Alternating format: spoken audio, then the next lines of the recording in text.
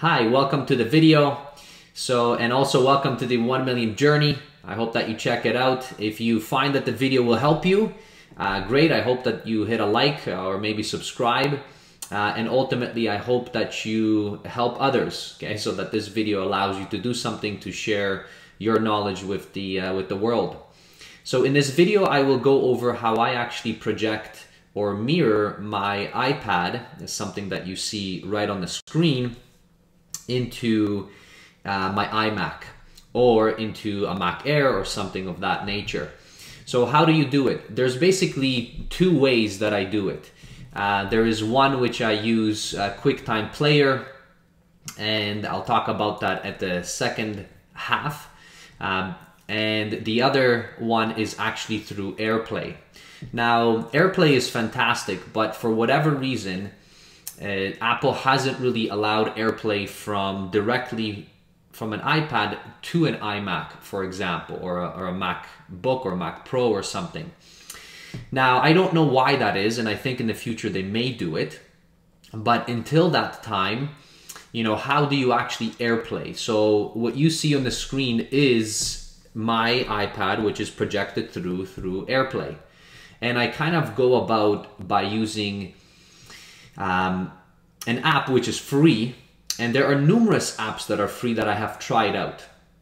And I'm kind of cheating uh, here. So what I use is I actually use Zoom to project my screen on, but it's not necessarily done so that I do a meeting with somebody.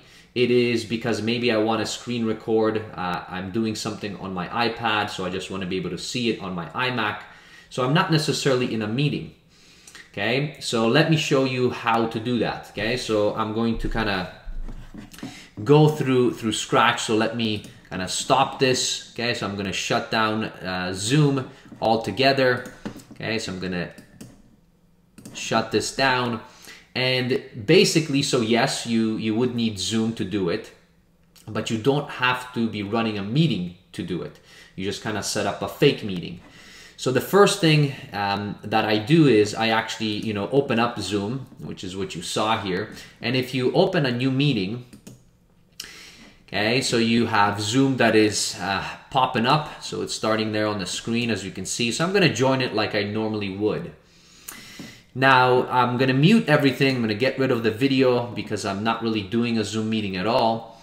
And in Zoom, you have your share screen option. So you have numerous ways to share things. And when you do that, notice that they have an actual AirPlay. So when you hit this AirPlay, okay, and you click on share, it's going to tell you, all right, so now you can connect your actual iPad and it will project out onto the screen. And one thing is, you know, notice that you have to be on the same Wi-Fi. And when you go into your uh, settings on your iPad, you're gonna scroll from the upper right hand corner, okay, so that you have, and I'm going to uh, show you the images there as well that you have in the video so you can see that. And you what you're going to do is you're going to hit the screen mirroring option and you will notice that there is you know a zoom option that you have. Okay so you're going to hit that zoom option and there you go. Your whole screen is now projected on, okay, back in. And now you can resize this if you like, okay? So if you do it, you know, if I'm doing it from the bottom, notice I'm kind of resizing it back and forth, okay? So something that you're happy with, and you can put it anywhere on the screen. And now you can do whatever you like, right, with the actual um, iPad. So you can load up other apps, you know, I mean, I love uh, investing, so you know, this is one of them. Whatever it may be, you can do, and then you can share on the actual screen. And this is directly through AirPlay. Once you're done, you can stop sharing on the Zoom and just shut down Zoom, and then you're done. So it's kind of a little bit of a hack that you can project out without doing any connections at all that you have. And the main reason why I do this is because the other option that you can do to share your actual screen is through using QuickTime. But if you use QuickTime, then that option okay, will not allow you to, for example, use QuickTime to screen record the whole thing because you're already using okay, QuickTime to project your actual iPad onto the screen. So if you want to see how to actually set up QuickTime, I'm going to do a link on the video, okay, up above. And that video is actually a video which, okay, talks about what happens or what goes wrong, right, with QuickTime because a lot of people have struggled, me as well, on connecting to QuickTime. And that's one of the reasons why I don't like using QuickTime. It's not as reliable for whatever reason. And it for, for some reason on my iMac, especially when I am recording, uh, it, it buffers quite a lot for me. And I have found actually using the this AirPlay is much better. All right. So again, so in summary, what you can do is you can either use Zoom through sharing, and that allows you to share that screen through AirPlay, or you can use QuickTime directly. So you can open up QuickTime.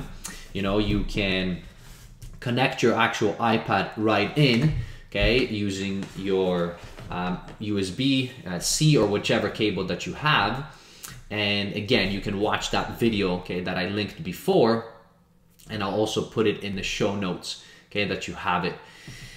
Um, and those are the two most reliable ways that I have found. Um, they're free completely, and there's nothing to do, right? So, you know, thank you to Zoom, honestly uh, because they have allowed this sharing now in such an easy way. It's it's pretty cool. So anybody who's making videos and using their iPad, for example, if you're drawing, you're doing notes, right? You're sharing something. It's just so simple. Okay. So I hope this has helped you. If it did, you know, hit a like uh, or subscribe to the to the channel, although the channel is uh, primarily driven by what's on my mind and how am I'm going to be helping others. And one of the things is through producing a lot of math videos, as you probably have noticed. Okay, so thanks for watching, everyone. I hope that it helps you and share the uh, share the experience with others. Cheers. Bye.